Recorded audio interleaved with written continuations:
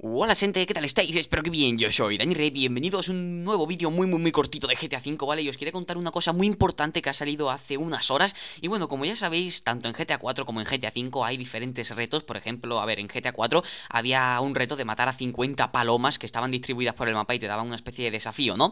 Y en GTA 5, pues como ya sabéis, hay como diferentes piezas repartidas por todo el mapa Que cuando las consigues, pues bueno, te sale un ovni y tal, ¿no? También hay otro, otro tipo de, de desafíos como lo de los saltos con los coches, ¿no? Que ya sabéis que hay diferentes saltos repartidos por todo el mapa, que se te pone así la cámara como si fuera una cinemática, ¿no? Y, y si completas todos los saltos, pues completas un desafío, ¿no? Y a lo mejor, yo que sé, te salta una nueva historia o una nueva misión o algo de eso, ¿no? Siempre suele haber algún misterio con esos tipos de desafíos. Así que bueno, gente, pues IGN, una página de videojuegos, ha sacado un mapa interactivo que vais a tener en el enlace justamente abajo en la descripción, ¿vale? ¿Y qué hace este mapa interactivo? Pues ahí tenéis todos los, desafíos. O sea, lo complicado de estos desafíos es encontrar dónde se sitúan, por ejemplo, en GTA V las partes del ovni.